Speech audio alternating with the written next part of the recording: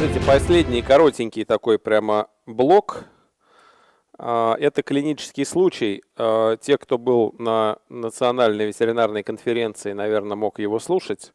Но я, поскольку были не все, я его еще раз расскажу. А, этот клинический случай иллюстрирует то, что лечение вывиха коленной чашечки, даже при достаточно хорошей диагностике, все равно может скрывать какие-то подводные камни, да, и все зависит и от э, хирурга, и от владельца, и от какой-то удачи расположения звезд, да, и от того, насколько, э, скажем, подробно, планомерно вы все-таки эту диагностику проводите. Э, итак, поступил на прием лабрадор, молоденький, э, ему было всего 11 месяцев, он уже такой достаточно упитанный, 32 килограмма весит. А в анамнезе у собаки дисплазия тазобедренных суставов. И а, другой доктор сделал резекцию головки бедренных костей, уже и справа, и слева. А потом э, пес полностью реабилитировался, перестал хромать, а потом снова захромал. Вот. Ну, владельцы подумали, что что-то, может быть, сделали не так, и пришли ко мне, э, ну, поскольку появились сомнения в том, что тот доктор ну, что-то напортачил. Вот, при осмотре, ну, сделали рентген, увидели вот, такой, вот такие вот снимки, да, у собаки резекционная артропластика, хромота третьей степени на левую тазовую конечность, а тазобедренные суставы крепетируют, но не очень-то сильно болят. А, но при этом медиальный вывих коленной чашки второй степени а, в левом коленном суставе. И очевидно, что хромота связана не столько с какой-то сильной болезненностью, сколько с нарушением биомеханики из-за нарушения квадри... механизма квадрицепса. То есть собака, вот э, медиальный вывих, прям явная такая варусная деформация, и собака левой лапой пользуется не очень хорошо. А также обнаружена внутренняя ротация шероховатости больше берцовой кости, то есть вот она прям вот такая свернутая, скрученная. А, выполнена рентгенография. Мы видим, а, вот мы на боковой поверхности видим, что мыщелки бедра вот так вот разнесены. Мы не видим малоберцовой кости, хотя она должна быть видна в боковой проекции. Если мы ее не видим, либо мы сделали неправильную укладку, либо есть торсионная деформация. Мы видим, что голеностопный сустав, а, мыщелки таранной кости совпадают. Это означает, что нижняя часть голени расположена ровно, а вот верхняя скручена, да, и вот на этом снимке, на прямой проекции мы видим и вальгусную деформацию, такую небольшую, и э, видим, что шероховатость больше берцовой кости, ее силуэт расположен, ну, он смещен. Вот, э, собственно, померили, вот я сделал, очертил, да, силуэт шероховатости больше берцовой кости, померил вот эти углы, они оказались неоптимальными. Вот. Значит, э, все рассказали хозяевам, было предложено выполнение коррегирующей остеотомии. Вот. Но хотя на первый взгляд казалось, что вывих там в какой-то такой второй степени, может быть, можно справиться и транспозицией шероховатости. Вот. Но э, владельцы потратили довольно много времени, денег и сил на лечение тазобедренных суставов. И тратить довольно большую сумму денег на коррегирующую остеотомию, импланты и так далее, э, были не готовы. Да, но вот, скажем, в клинике в Белом Клыке, да, э, коррегирующая остеотомия со всеми снимками, ну, вот полная стоимость лечения, я скажу, да, это наркоз, эпидуральная анестезия, предоперационные снимки, операция – а, пластина, винты, рассасывающиеся там нитки всякие немецкие, послеоперационные снимки, содержание в отделении интенсивной терапии, то есть все-все-все вместе, да, коррегирующая остеотомия стоит там 66 тысяч, 65 900. Вот. Нет, до вечера, до вечера. Да, ну вот именно вот реанимационные все мероприятия, ну так. А при транспозиции шероховатости больше берцовой кости стоимость где-то 27 тысяч. Ну, разница есть. Вот. Ну и э, как-то хозяева сказали, что нет, как-то мы не потянем 65 тысяч, давайте сделаем шероховатость.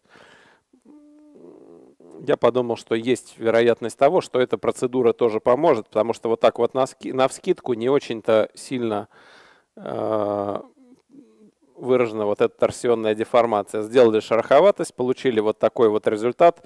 Помимо этого сделали капсулорафию, да, дупликатуру капсулы сустава. Вот мы видим на снимке вальгус вот такой вот сохранился, э, но шероховатость уже стоит на своем месте. Э, и собака поправилась практически, да, то есть это у нас был Э, вот уже в январе 2017 года собака снова пришла, уже 2 килограмма набрала, поскольку ее ограничивали в подвижности, а кушать она продолжала. Э, собака пришла, хромота уже не третья, а первой степени, э, и все стало очень хорошо. Вот, вывих коленной чашки не выявлялся и жалоб нет. Потом они снова приехали уже в мае, а, не 16 а 17 года, это ошибка приехали в мае с хромотой уже на правую тазовую конечность, на другую. Вот. Посмотрели и нашли медиальный вывих коленной чашки и в правом коленном суставе тоже. А, сделали снимки и увидели тоже торсионную деформацию больше берцовой кости, а, ротацию в суставе да, и некую вальгусную деформацию а, больше берцовой кости. Вот, сделали снимки, да, тот был левый сустав, этот правый, а картинка идентичная, примерно то же самое да, возник вопрос, что делать, то, то ли фабелла тебе патолярный шов, то ли транспозицию шероховатости или коррегирующую остеотомии, которые, по идее, это должны нейтрализовать все вот эти деформации. Но поскольку в первом случае вот эта вот операция, транспозиция шероховатости очень хорошо помогла, все сработало, ну, хозяева говорят, зачем платить больше, да, если не видно разницы, давайте и тут также сделаем. Вот, и так мы уже кучу денег в собаку вбухали, и уже там два тазобедренных сустава прооперировали, и коленку ту прооперировали. Давай тут, давайте тут также по-простому. ну, давайте. Сделали вот такую вот транспозицию шероховатости. Обратите внимание, какой длинный здесь пропил. Удалось довольно хорошо ее далеко сместить, зафиксировать. Вот, и получили вот такую вот вещь, вот такие вот снимки. Вот. А, прошло еще, сколько там у нас, два месяца с лишним, почти три месяца, э, усилилась хромота на правую тазовую конечность. Да, появилась хромота уже третьей степени и медиальный вывих коленной чашки, хотя вот она, шероховатость перенесена. Э, стали искать, что же мы недооценили, что мы не исследовали и почему могла возникнуть, э, почему мог возникнуть рецидив. Сделали снимки уже и бедренной кости, а головки кости нету, поэтому мы не можем измерить механическую ось, ну, либо механическая ось совпадает с анатомической, да, провели вот так и увидели сильную варусную деформацию бедренной кости. А, опять же, поскольку нет головки и шейки бедренной кости, а, торсионную деформацию измерить мы не можем. Да, нет, как, опять же, бедро, как, как оно будет располагаться во время ходьбы, непонятно. Вот, э, увидели эту варусную деформацию и решили предпринять устранение, да, устранить вот эту варусную деформацию бедренной кости, поскольку решили, что именно она вносит вот такой вот свой вклад. Городить что-то снова с голенью, с большеберцовой костью не хотелось, а бедренная кость, очевидно, деформированная, поэтому мы избрали коррегирующую клиновидную плюс торсионную остеотомию бедренной кости. А при физикальном обследовании было видно, что мыщелки бедренной кости и пателлярный желоб, они смещены наружу. То есть есть вот торсионная деформация, она оценивалась только вот так вот визуально. А по снимкам мы это не посмотрим, потому что аксиальная проекция у нас не получится, потому что нет шейки бедренной кости. а, сделали вот такие вот измерения, да, провели, нашли точку коррекции ангуляции, сделали угловую коррекцию закрытым клином, выпилили 20-градусный клин и поставили вот такую вот пластину. Восьмигнездную зафиксировали. И коленная чашечка встала на место, и все прошло. Да? А, собака повторно пришла 15 сентября. Уже упитанность такая выше средней, толстенький песик, незначительная хромота на правую конечность – небольшое ограничение подвижности в тазобедренных суставах. Да, напоминаю, что оба тазобедренных сустава резицированы. Вывих коленной чашечки не наблюдается, не выявляется, и жалоб никаких уже нет. А, повторно собака пришла уже в конце года, да, 20 ноября. А, Пес весит уже 39 килограмм, хотя поступил 32 килограмма. Хромоты никакой нету. Есть ограничение подвижности в тазобедренных суставах, но нет никаких жалоб. Пес бегает, прыгает, радуется, довольный.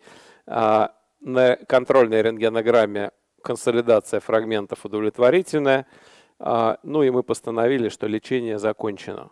Все, собака здорова, наконец-то мы вот так вот собаку исцелили, избавили от вывиха коленных чашек.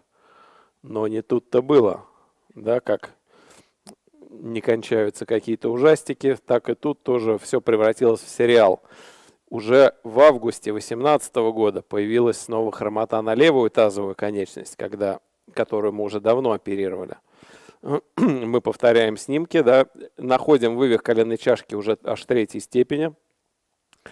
А, варусная торсионная деформация бедренной кости. Опять же, торсионную деформацию мы можем определить только а, физикально. На снимках мы ее определить не можем.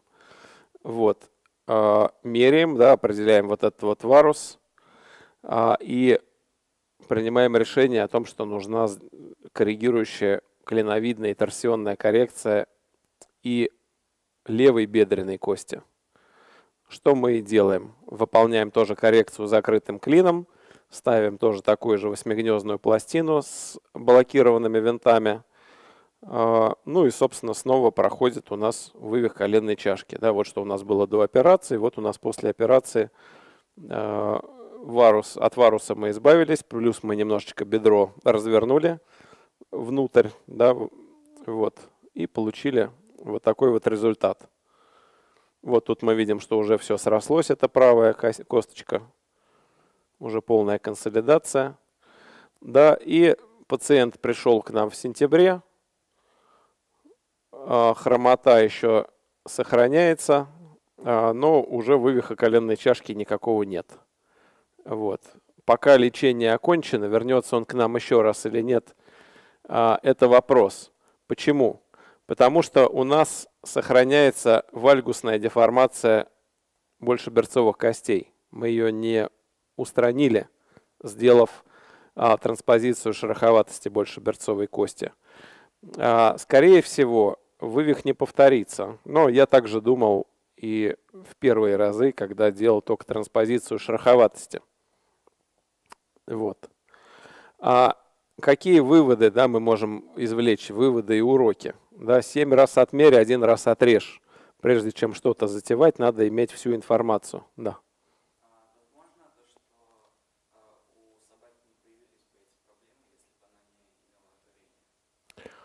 Наверное, возможно. Я думаю, да. Нагрузка на квадрицепсы усилилась, да, на четырехглавые мышцы нагрузка усилилась. Может быть, не ожирей собака, то есть последние разы она уже больше 40 килограмм весила. Может быть, такого и не было бы. Такое вполне вероятно.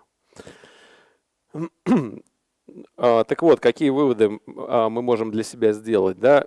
Прежде чем о чем-то говорить или что-то планировать, надо провести планомерное обследование, несмотря на то, что а, люди очень хотят сэкономить на рентгенографическом исследовании. Рентгенографии бедренной кости, рентгенографии больше берцовой кости и планировать коррекции с учетом всех причин. То есть мы должны обо всем знать уже еще на берегу.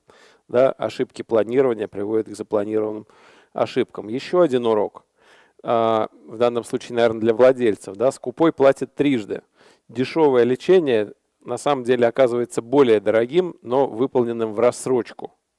Да, если, если мы делаем все те же самые операции только по очереди, а не одномоментно, ну, еще и за наркоз мы больше переплачиваем, хотя не всегда.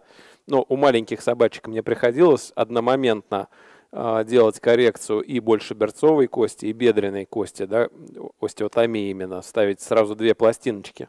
Но э, это не очень э, хорошо, наверное, не очень комфортно делать, потому что э, собачки маленькие остывают быстро, да, а такая операция длится по-любому, ну, наверное, больше двух часов. Если их делать пять раз в неделю, наверное, все будет получаться быстрее. Но э, такого большого количества пациентов нет, да, такие операции выполняются не очень часто, поэтому, э, ну, а может быть, я просто оперирую медленно. Вот, поэтому вряд ли кто-то делает это вот за полчаса и очень быстро. А как бы я поступил, если бы у меня было вот такое оборудование?